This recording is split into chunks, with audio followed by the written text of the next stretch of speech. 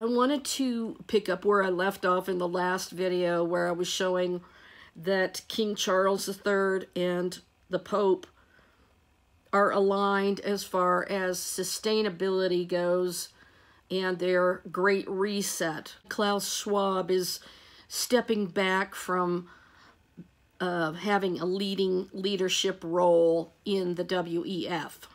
So who is going to be the successor of this World Economic Forum.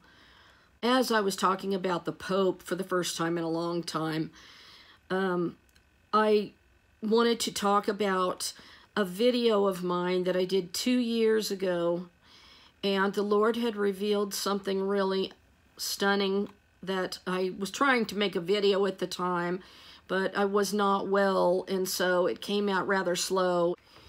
Um, I made a video two years ago about the topic I'm just going to mention today. And the reason why I want to cover this again is because it was really stunning. It was a revelation from the Lord. And he showed me something that connected to the Revelation 12 sign. Now, somebody asked me on YouTube, this is how I started the video that I did. They asked me um, did I believe that the Revelation 12 sign meant anything specific. And my response was that at the time when the Revelation 12 sign happened, I did not personally see how it could be the Revelation 12 verse because the two witnesses come before Revelation 12.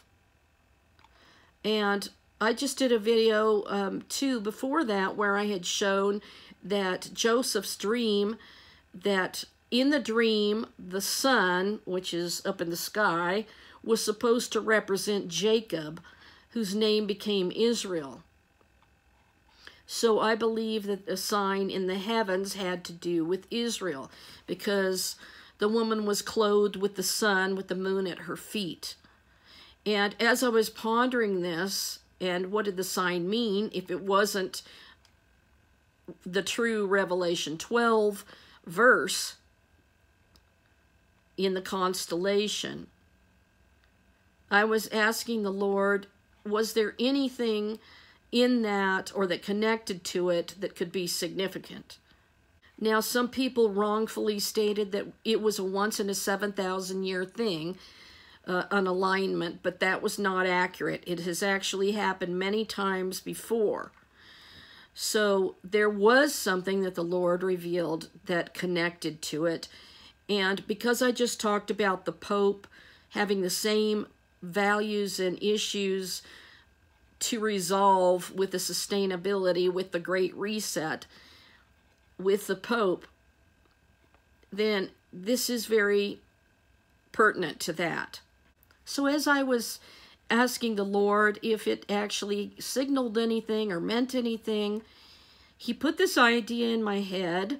I wonder how many days went by from the so-called September 23rd, 2017 Revelation 12 sign that was in the sky in the constellations. And normally on this channel, I don't do number calculations to try to find out how many days are between this event and that event. But all of a sudden, I thought, I wonder how many days passed between the September 23rd, 2017 sign, which is the Revelation 12 sign, quote unquote, and how many days were between that and when the Pope signed the covenant, the document of human fraternity with the Imam of Egypt and I thought, well, how am I going to calculate that? You know, so I'd have to go back on an old calendar and count backwards. Or I finally decided to log in and see if there was a time date calendar that could calculate it for me. And this document, this covenant with the Pope and the Egyptian Islamic Imam that took place on February 4th of 2019.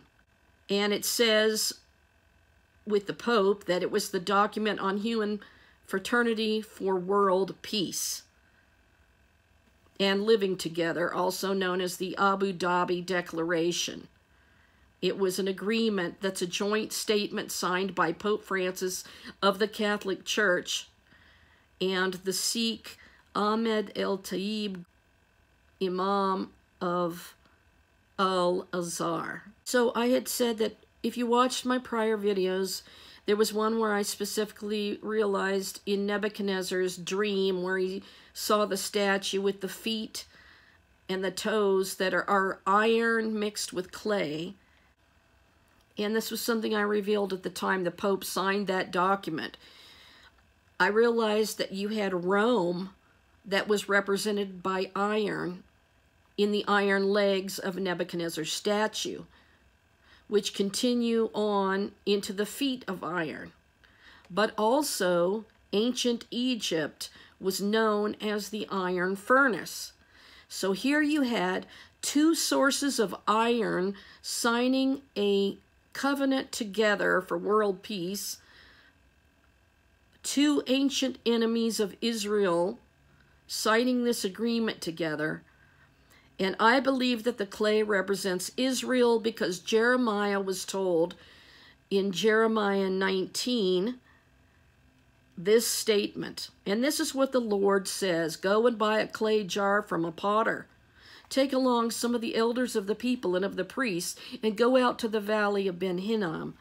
Near the entrance of the potsherd gate, there proclaim the words I tell to you, and say, Hear the word of the Lord, you kings of Judah and people of Jerusalem. This is what the Lord Almighty, God of Israel, says Listen, I'm going to bring a disaster on this place that will make the ears of everyone who hears it tingle, for they have forsaken me and made this place of foreign gods, and they have burned incense in it to gods that neither they nor their ancestors nor the kings of Judah ever knew, and they have filled this place with the blood of the innocent. They have built the high places of Baal to burn their children in the fire as offerings to Baal something I did not commend nor mention it, nor did it enter my mind. So beware, the days are coming, declares the Lord, when the people will no longer call this place Topheth, or the valley of Ben Hinnom, but the valley of slaughter in this place. I will ruin the plans of Judah and Jerusalem. I will make them fall by the sword before their enemies at the hands of those who want to kill them. Now, this goes along with what I told you that I realized that in Revelation, the deadly wound that's healed was this wound by the sword in the head. The head is the monarch the monarchy of ancient Judah. So in Revelation, it's being resurrected, and a king will be placed upon the throne of Judah again. And this is not an antichrist man that dies and comes back to life. This is the ancient monarchy and a king where the Lord brought the sword against it, and then Israel restores the kingship to the throne of David. So it tells you right there that the, the Lord brought the sword against it. He says, I will make them fall by the sword before their enemies at the hands of those who want to kill them, and I will give their carcasses as food to the birds and the wild animals. I will devastate this city and make it an object of horror and scorn for all who pass by, will be appalled and will scoff because of all of its wounds. So there's the wound in the head of Judah, the kingship by the sword. And I do believe that they are the ones that have the deadly wound that was healed. The um, ancient monarchy of Israel, of Judah. I will make them eat the flesh of their sons and daughters, and they will eat one another's flesh, because their enemies will press the siege so hard against them to destroy them, then break the jar, the clay jar, while those who go with you are watching and say to them, This is what the Lord Almighty says I will smash this nation and this city just as the potter's jar is smashed and cannot be repaired. They will bury the dead in Topheth until there is no more room. For this is what I will do to this place and to those who live here, declares the Lord. I will make this city like Topheth the houses in Jerusalem and those of the kings of Judah will be defiled like this. Place Topheth all the houses where they burned incense on the roofs to all of the starry hosts and poured out drink offerings to other gods. Jeremiah then returned from Topheth, where the Lord has sent him to prophesy, and stood in the court of the Lord's temple and said to all the people, This is what the Lord Almighty, the God of Israel, says. Listen, I'm going to bring on this city, that's Jerusalem, and all the villages around it, disaster. I pronounced against them because they were all stiff necked and would not listen to my words. And, and an interesting a footnote says, the Hebrew word for ruin sounds like the Hebrew word for jar in verses 1 and 10. So obviously, the clay jar that Jeremiah shattered by the command of God was to show that disaster was coming upon Jerusalem and all its people, Judah and Israel. And that's what happened when the Babylonians came in and destroyed the temple and the city of Jerusalem. So they are representative in my mind of the clay of Nebuchadnezzar's statue the toes of mingled with iron in the clay. It's going to be this group of the two irons of the ancient enemies of God making this covenant or agreement in Abu Dhabi. Incidentally, they are setting up the worship of all three religions and any other religions coming there to worship any god they want to and making it a one world religion and calling it Chrislam. And they're setting that up in Abu Dhabi, I said at the time, which you obviously know now. But this is where they made the covenant with the two sources of iron that I just mentioned. Rome was known as the iron of Nebuchadnezzar's statue with the legs and continues on in the feet. And Egypt was the ancient iron furnace that they came together and signed a covenant together to bring forth the one world religion, bringing all kinds of gods to come together in that place and to Jerusalem. And so, what's not going to mix is when you have the Jews on the Temple Mount, on Holy Mount Moriah, rebuilding their temple, which is another whole story in itself.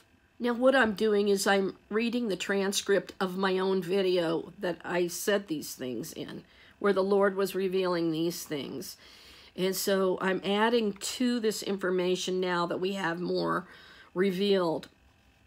It's not going to mix well with the iron, um, the Sanhedrin and the iron are not going to mix very well in Jerusalem.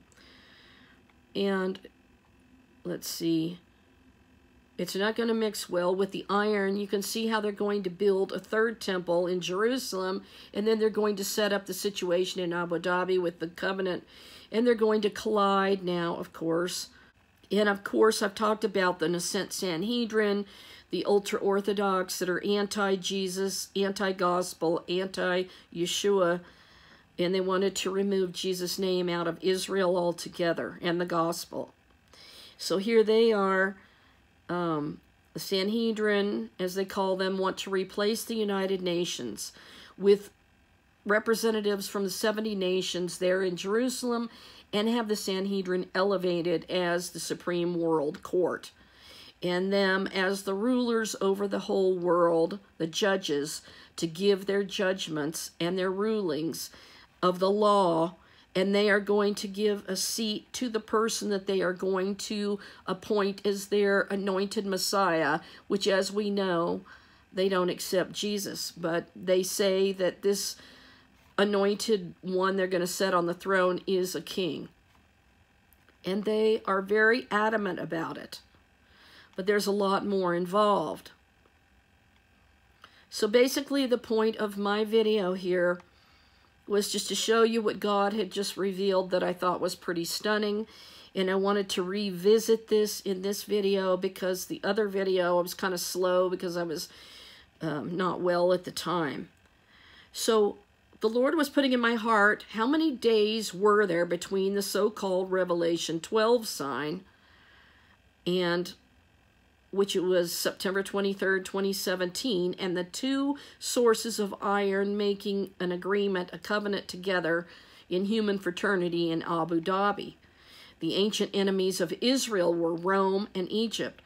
So here were the actual results from timeanddate.com when I typed in the dates between the two events and including Saturday, September 23rd, 2017, to and including Monday, February 4th of 2019, resulting in 500 days from the start date to the end date and end date including or one year, four months, 13 days, including the end dates, or 16 months, 13 days, including the end date. So I thought, wow, 500, that's an unusual number. I mean, just 500 even?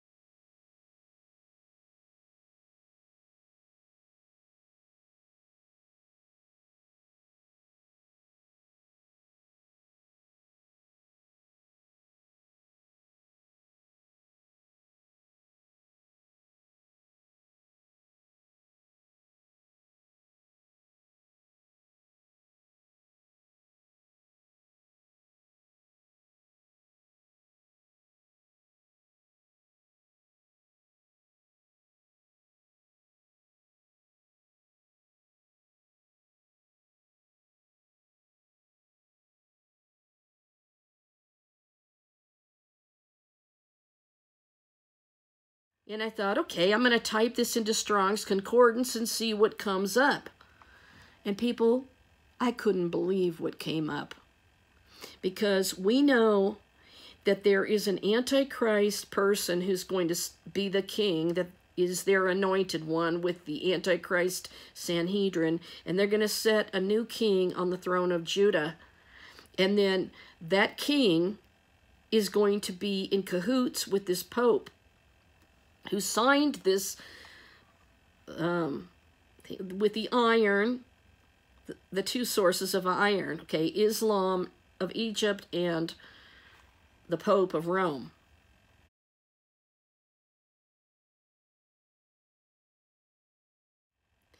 So you are not going to believe this divine revelation because I looked up Strong's concordance for the Greek and the number 500 is Antichristos, Antichrist.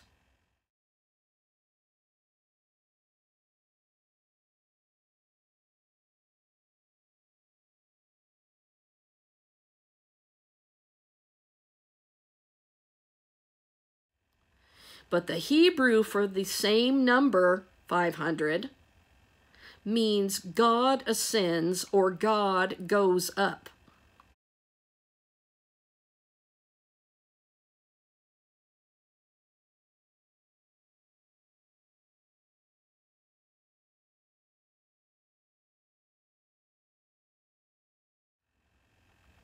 So let me elaborate on Strong's Concordance number 500.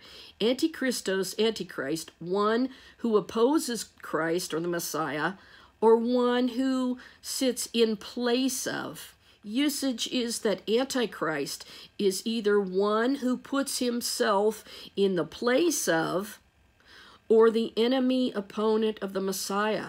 Now, I told you that this king that the Sanhedrin's going to set upon the throne of Judah is a replacement. He puts himself in place of King Yeshua, that's going to come down from heaven and shatter all these kingdoms that are on Nebuchadnezzar's statue. So the last kingdom will be having a king of Judah represented in the clay of the feet and the toes that are smashed along with this iron element.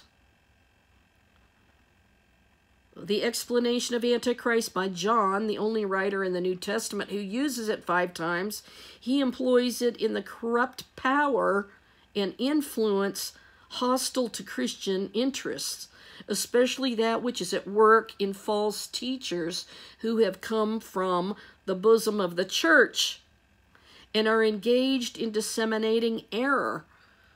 And I just showed you that the Pope is bringing forth this worldwide Eucharist where they actually believe they can lift up this wafer and bring Jesus down from heaven and then lay him on the altar where he's executed once again. And then they partake of this wafer, um, which they believe turns into actual chunks of flesh, meat of the Savior, and that they are partaking in eating it.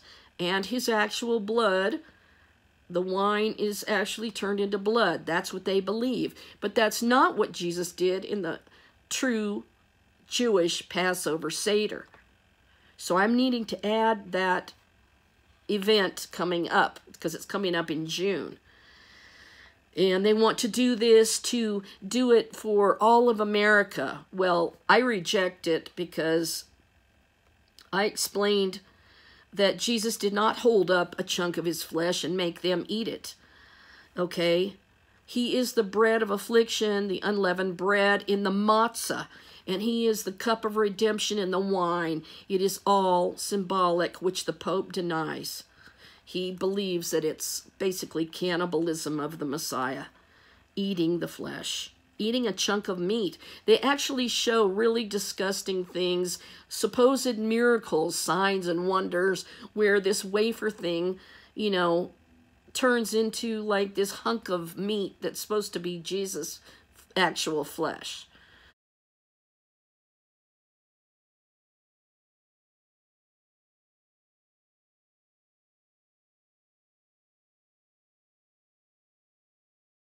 It's just really hard to believe anybody can see that because it's just not scriptural according to the Jewish Passover Seder at all. And God would never want anybody eating actual flesh, okay?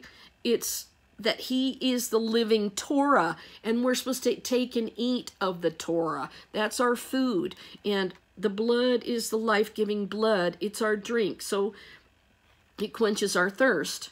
So now let me continue on. Okay, so it lists John 2.18 where the meaning is what you have heard concerning Antichrist as about to make his appearance just before the return of Messiah is now fulfilled in the many false teachers most worthy to be called Antichrist. It says, For Paul teaches that the Antichrist will be an individual man of the very worst character. Now, how on earth did that happen? That the Revelation 12 sign did have a lot more meaning than anyone knew because it calculates to the signing of the Pope's covenant or iron and iron making an agreement the ancient enemies of Israel making a covenant together where they're going to have all of these false god religions in a one world religion. And then you've got the Jews over in Israel going to build the third temple. And of course, they're going to invite anybody who's worshiping any of their gods there. So I don't know what's going to happen. It's going to be the time of Jacob's trouble. And the Lord is really, truly bringing it all there to a head so he can smash that last earthly kingdom of that king. Now, as we know, I've already talked all about King Charles III and how he is the one that fits that position. As and I won't go into all the other people that have talked about their viewpoints on it. But I had my own revelations about it, which I shared, and the power of Antichrist in the sway of imperial Rome and his person in the Emperor Nero. But in the Hebrew, it is this word, which I'll show you, Ileli, which means God ascends, or more properly, God is going up. So this is a picture of the Lord descending with a shout and taking us up in the glory cloud to be where he is. So can you believe that these two things are two completely different meanings? You've got a picture of the rapture in the same sentence you've got the Antichrist appearing. Part of I don't think that the Pope is the Antichrist, okay? But he's working a different Jesus, and if you're working a different Jesus and a different gospel, you are accursed. So, anyway, what are the odds that this would happen? It registers in Greek as the Antichrist, but in Hebrew as God ascends up. But then those weren't the only things in the number 500 that are interesting. Um, Noah was 500 years old when he became the father of Shem, Ham, and Japheth. Now, in Ezekiel 45, we also find that God had the number 500 as a very special number. And this is when Israel is fully restored. And it's God speaking this. When you unlock the land as an inheritance, you are to present to the Lord a portion of the land as a sacred district, 25,000 cubits long and 20,000 cubits wide. The entire area will be holy. A section 500 cubits square is to be for the sanctuary, with 50 cubits around it for open land in the sacred district measure of a section 25,000 cubits long, 10,000 cubits wide. In it will be the sanctuary, the most holy place, and it will be the sacred portion of the land for the priests who minister in the sanctuary and who draw near to minister before the Lord. It will be a place for their houses as well as a holy place for the sanctuary, an area 25,000 cubits long and 10,000 cubits wide will belong to the Levites who serve in the temple as their possession for towns to live in and then it continues on from there. But the point is is that God has said that this is going to be the most holy place this 500 cubits by 500 cubits special location within that territory the inheritance of the Lord, and that's going to be the measurement of this area where the Holy of Holies is, 500. But that comes up with the signing of the two ancient iron enemies of Israel signing the document, the covenant of human fraternity, to bring all these religions together to worship any god they want in Abu Dhabi. And then you've got the Jews wanting to build the third temple, and this 500 cubits by 500 cubits is to be the sanctuary, the most holy place where the priests minister. So you've got the Antichrist, you've got the uh, feet and toes of iron and clay that don't mix. So you've got the sanctuary of the third temple, you've got that 500 cubits represented there with them putting a false king on the throne, the one in place of Jesus, I should say. And you've got the 500 in the building of the third temple. You've got the 500 in the Antichrist, in the ancient iron enemies making a covenant together, and you've got the 500 of God ascending all at the same time, all in the number 500. And I said, this is mind-blowing. All of that is represented in the number 500, which happens to be the exact amount of days between the Revelation 12 sign of September 23, 2017, and the signing of the Pope with the Islamic Imam from Egypt, signing their iron covenant together to bring all of these religions together. So, what are the odds of the Antichrist coming up in that number? The temple of God in his inheritance coming up in that number, and God ascending up, which signifies the rapture of the bride, the church, the true church. With God going up and taking the dead in Christ that are going to rise first to meet the Lord in the air, with us who remain over and will be caught up harpazo to meet the Lord in the air, so that we shall ever be with the Lord in a moment, in the twinkling of an eye, at the last trump.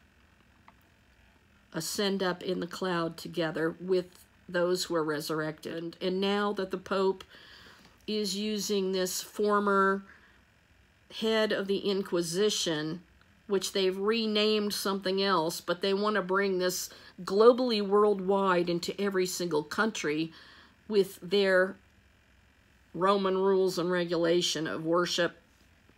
It's a different gospel, a different Jesus, and this is the tribulation church of Rome that will be here. There's going to be people that come out of it, I think, in the tribulation. And, you know, they'll realize the truth, but it will be too late. It's a different Jesus, a different gospel, and the Lord says to not have anything to do with it. So to sum this up, here is what it's signifying. The Antichrist, the rapture, and the building of God's temple all reflected in this number 500 and the fact that the Messiah is going to come again and establish his kingdom and he's going to take his territory and the throne of Judah forever. The Lord is telling Israel how much of the land to keep for his sanctuary in that number 500, in the most holy place. And we are all waiting for the Lord to send from heaven with a shout to take us up because we're ascending up and we know that he's coming. And for this to be something that the Lord would tell me to calculate between those two events, I think is stunning. And having it come up with all three of these things.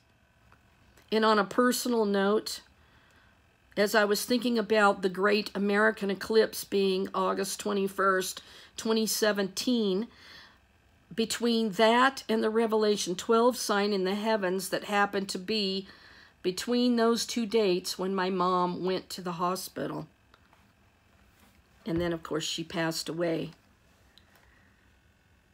Nothing seems to be coincidence, and these are extraordinary discoveries that you just can't even explain. It's something that God does that you just stand back and say, wow, that is super powerful. So in the Bible, we're told that there were figs that were very, very bad, and then there was a basket of figs that was very, very good. And the figs that were really bad were to be cast out and destroyed. And as I was revealing this in that video of mine two years ago, you would not believe this, but I looked down at my phone at the news that happened on that day when I revealed that, and this article popped up, How to Grow Figs in a Cold Climate, came up from the New York Times, showing ripe figs on a fig tree.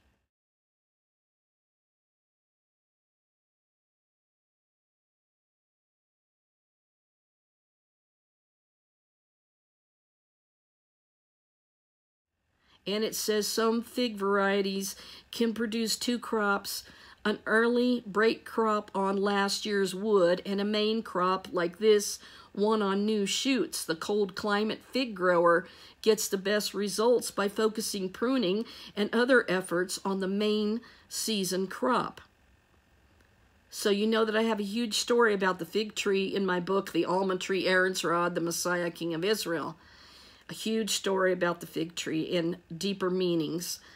And it's really astonishing because it was all revealed by the Lord. So they say that we are the fig tree generation, that Israel is the fig tree generation. And what that, the figs being very bad figs, they were evil figs um, that were destroyed.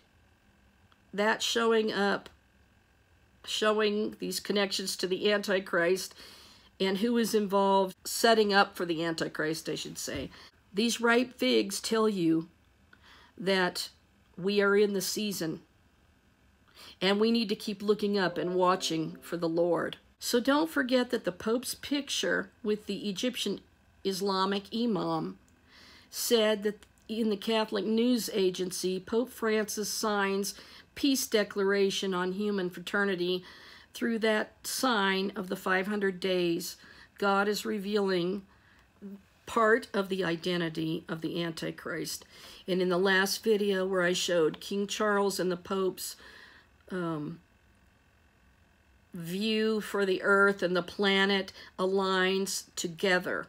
So they are coming together and it's all part of the Antichrist, one world government, one world religion, and Mystery Babylon, the great mother of harlots, will be in Jerusalem when they don't want Jesus there and they reject the King of Kings and they gift a crown to the king whose white horse